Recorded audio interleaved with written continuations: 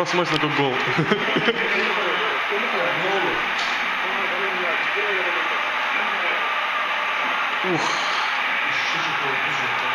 Это не хорошо, с другой стороны. ух. Чего?